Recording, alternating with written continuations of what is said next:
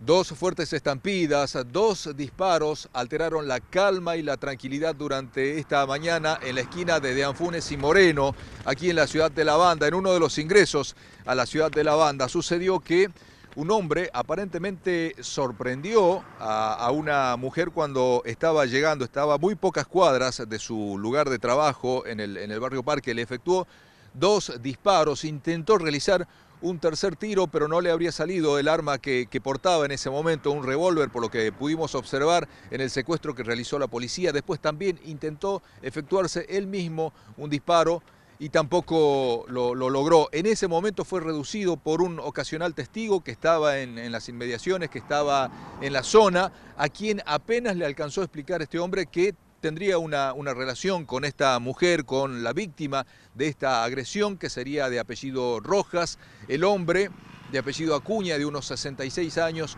ambos serían oriundos de Beltrán.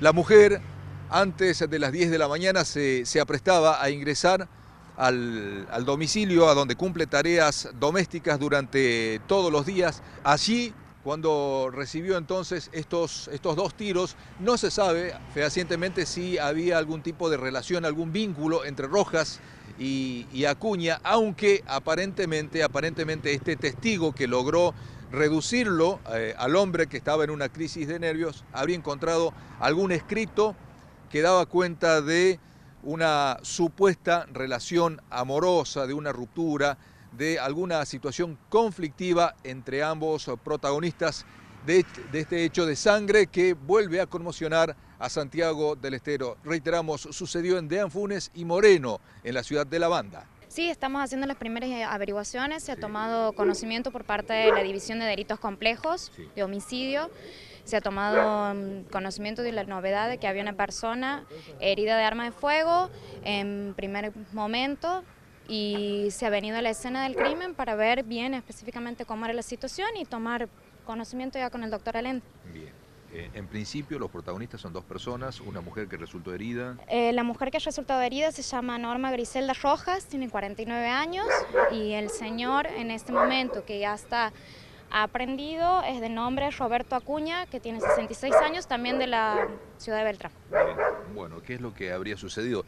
Eh, ¿Qué relación tiene este domicilio? Aparentemente salieron de aquí. La señora trabajaba aquí, es el único momento, estamos investigando, todo esto es un proceso de investigación.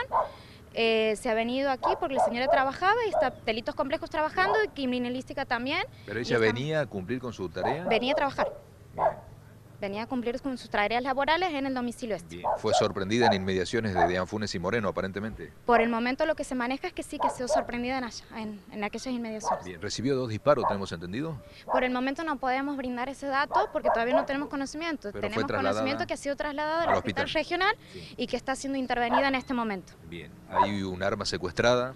Hay un arma secuestrada en este momento que por lo que se está investigando y por los testigos estaba en poder de la persona que está aprendida. Bien es lo único que podemos... ¿Se sabe si había algún tipo de relación entre Acuña...? No, desconocemos por el momento también.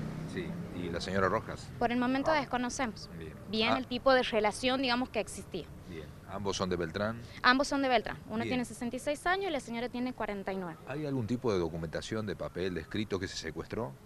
No, por el momento se secuestrado las pertenencias de ella y se secuestrado lo que es las pertenencias que tenía en su poder el señor en el momento de la aprehensión. Bien, ¿esta mujer cumplía tareas diarias domésticas cumplía tareas domésticas en este domicilio. ¿Sabe el estado en el que se encuentra? Momentáneamente estamos eh, sabemos que se la ha llevado al hospital regional para ser intervenida y estamos esperando el resultado y viendo el médico de sanidad policial también para que se constituya y nos informe. ¿Qué tipo de gravedad las lesiones? Desconocemos, todavía no nos han informado para poder informar. ¿Estaría fuera de peligro? No sabemos todavía.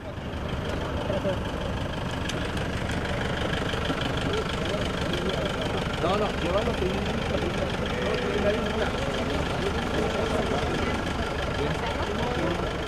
Eh, aquí va Bópolo. Sí. Sí, lo van a llevar primero y después Sí, eh, ya, ya tiene órdenes. Erika le dice a Mona, la oficial que los ya, La Erika confirma los espera para hacerle todo. Si escuchas Polo, se va a secuestrar solamente la campera. Después se lo secuestra pasado, pero en el momento para hacerle el ese rato también. Gracias.